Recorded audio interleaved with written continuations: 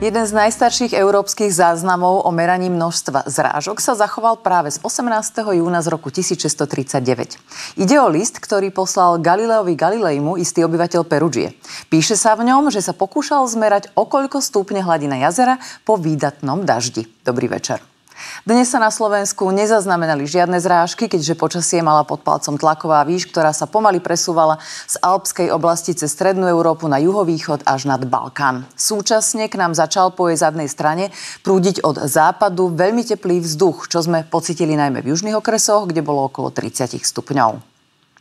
Zajtra prílev tropického vzduchu od juhozápadu do našej oblasti ešte zosilnie a my sa budeme kúpať vo vlastnom pote pri teplotách od 26 do 33 stupňov. Zrážky sa zajtra nepredpokladajú, fúkať bude južný vietor rýchlosťou do 35, v nárazoch na západe okolo 50 km za hodinu. Vo vyznačených okresoch sa od 13. do 19. hodiny predpokladá teplota okolo 33 stupňov, čo predstavuje nebezpečenstvo pre ľudské zdravie, fyzické aktivity, ale aj pre vznik požiarov. Pred nami je prevažne jasná noc s teplotou, ktorá do rána poklesne na 17 až 13, na severe do 9 stupňov.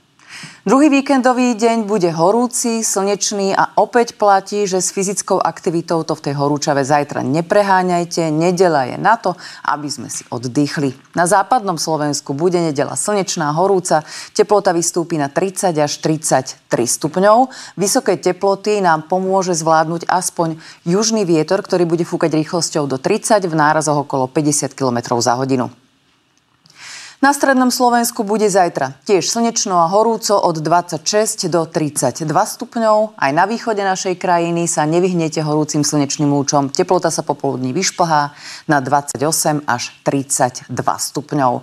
Tu zafúka južný vietor rýchlosťou do 25 km za hodinu. Úľavu od horúčav nájdete najmä na horách. Nezabudnite si však zo sebou vziať fľašu s vodou, šiltovku, slnečné okuliare a ochranný krém, keďže vás bude na turistike sprevádzať horúce slnko. Vo výške 1500 metrov sa oteplí na 19 stupňov. Tlak vzduchu začne zajtra slabo klesať. Predpoveď UV indexu je veľmi vysoká, až 8,1, čiže je nutná najvyššia ochrana pred priamým slnkom. Pondelok sa síce začne tiež slnečným počasím, ale popoludní už od západu oblačnosť pribudne a ojedinele sa vyskytnú prehánky alebo búrky. Bude však extrémne teplo od 29 do 34 stupňov. V noci na útorok prejde cez naše územie studený front, takže sa vyskytnú ešte na severe a východe prehánky alebo ojedinelé búrky.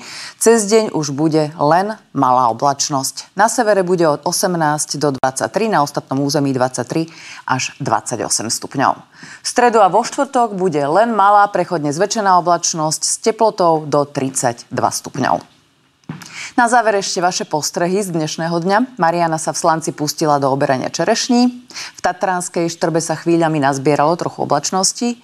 Mijava žije od včera folklórom a lepšie počasie sa na mijavské slávnosti snáď ani vybaviť nedalo. Zajtra to s pobytom na priamom slnku nepreháňajte. Pekný večer a dovidenia.